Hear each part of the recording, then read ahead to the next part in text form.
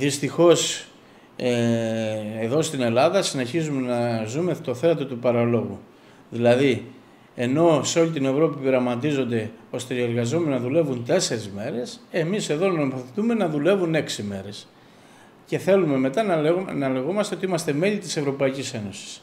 Δυστυχώς η κυβέρνηση εξακολουθεί να μην ακούει την κοινωνία, να βρίσκεται εκτός κοινωνίας ε, και συνεχίζεις να φέρνεις στη, στη Βουλή τέτοιους νόμους που λέει ότι ο εργαζόμενος πρέπει να δουλεύει έξι μέρες, δηλαδή να μην παίρνει το ρεπό του, την έκτη μέρα να τη θεωρεί η μέρα εργασίας και η μέρα αργίας να θεωρεί μόνο την Κυριακή. Ε, αυτά συμβαίνουν μόνο στην Ελλάδα και σε κάτι τις κομικές χώρες ανά τον κόσμο. Να επιθυμίσω βέβαια ότι υπάρχει κοινοτική οδηγία που λέει ότι η χώρα μας πρέπει να εναρμονιστεί με τους κανόνες της Ευρώπης που λένε ότι το 80% των κλάδων της εργασίας πρέπει να έχουν σύμβαση εργασίας. Να επιθυμίσω δε ότι εδώ υπάρχει, το ποσοστό είναι 30%.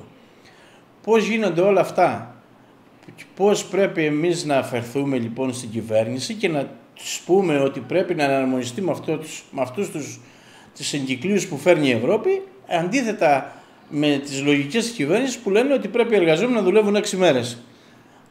Αυτά δεν γίνονται, δεν πρέπει να συμβαίνουν στη χώρα μας και πρέπει να καταλάβει η κυβέρνηση ότι η κοινωνία άλλα είναι τα θέλω της, ο, ο χώρος της εργασίας πρέπει να εναρμονιστεί με την Ευρώπη, η Ελλάδα πρέπει να εναρμονιστεί με την Ευρώπη και να πάει σύμφωνα με τις κανόνες που διέπουν την ε, κοινοτική, τις κοινωτικές ε, οδηγίες. Από τη στιγμή που ψηφίζει η κυβέρνηση τέτοιους νόμους, βεβαίως και θα υπάρχουν προβλήματα στην αγορά εργασίας.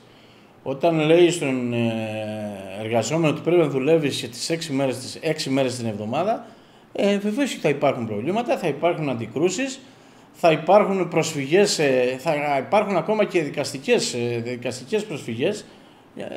όλοι καταλαβαίνουμε ότι θα υπάρξει μια άναρχη εργασιακή, μια ζούγκλα εργασιακή που δεν, δεν, θα, δεν θα μπορεί να υπάρξει εργασιακή ειρήνη. Θα υπάρξουν τεράστια προβλήματα ε, και αυτό ξαναλέω συμβαίνει διότι η κυβέρνηση δεν, δεν ακούει τους εργαζόμενους, δεν ακούει την κοινωνία και θα υπάρχει ένας αναβρασμός γενικότερα.